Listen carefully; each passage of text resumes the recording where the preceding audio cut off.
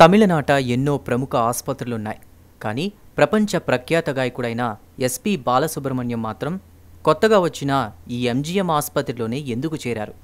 అనేక మంది కరోనాని జయించారు. పైగా మన దేశంలో మోర్టాలిటీ రేటు చాలా తక్కువగా ఉంది. అయినా గాన గంధర్వుడిని కాపాడుకోలేకపోయామంటే ఆయన అభిమానులకు సైతం డాక్టర్లు సరిగానే పనిచేశారా అని అనుమానాలు రేకెత్తుతున్నాయి. ఆగస్టు ఐదున కరోనా పాజిటివ్ రావడంతో ఎస్పీబీ చెన్నైలోని ఎంజీఎం ఆసుపత్రిలో చేరారు. దీనికి సంబంధించి ఒక వీడియో కూడా ఆయనే స్వయంగా విడుదల చేశారు. తనకు సోకింది మైల్డ్ కరోనా అని ఖచ్చితంగా దీని నుంచి బయటపడతానని బాలు అభిమానుల కోసం వీడియోను విడుదల చేశారు.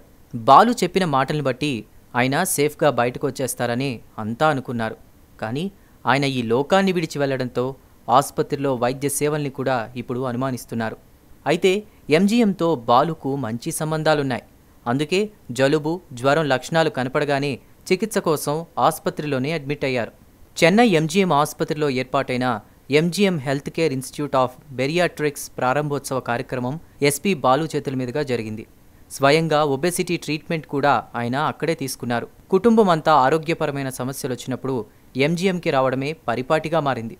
అంతా తెలిసిన వాతావరణం తెలిసిన డాక్టర్లు కావడంతో ఐఆమ్ ఇన్ సేఫ్ హ్యాండ్స్ అని బాలు కూడా నమ్మారు. తమిళనాడు ప్రభుత్వం బాలు ఆరోగ్యంపై ప్రత్యేక శ్రద్ధ చూపడంతో ఆసుపత్రిలోని వైద్యులు కూడా బయటి వైద్య నిపుణుల సాయం తీసుకున్నారు. అంతా కోరుకున్నట్టుగానే బాలు కరోనాని జయించినప్పటికీ ఆయన చివరి ఇరవై నాలుగు గంటల్లో మళ్ళీ తీవ్ర జ్వరం బారిన పడి కోమాలోకి వెళ్ళిపోయారు. ఒక్కొక్కటిగా అవయవాలు సహకరించకపోవడంతో గాన గంధర్వుడు ఈ లోకాన్ని వదిలి వెళ్ళిపోయారు. ఇలాంటి మరిన్ని వీడియోలు కావాలని కోరుకుంటున్నారా? అయితే పక్కనే ఉన్న గంట సింబల్ను క్లిక్ చేయండి. అలాగే సబ్స్క్రైబ్ చేయండి.